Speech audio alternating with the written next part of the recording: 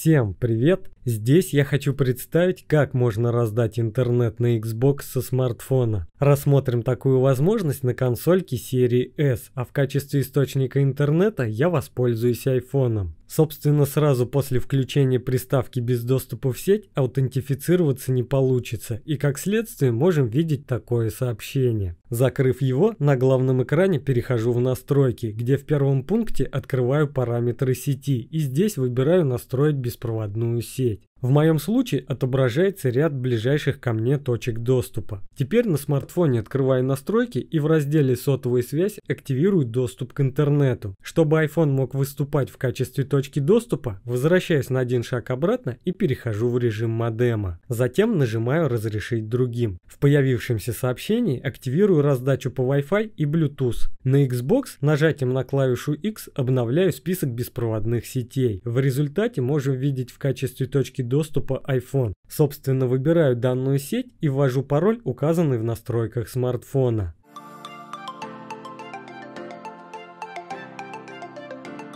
Успешно установив соединение, нажимаю «Продолжить». В этом разделе также можно проверить скорость сети. В моем случае на прием она составляет порядка 52 мегабит в секунду, а на передачу около 18. Возвращаюсь на главный экран и авторизуюсь под своей учетной записью.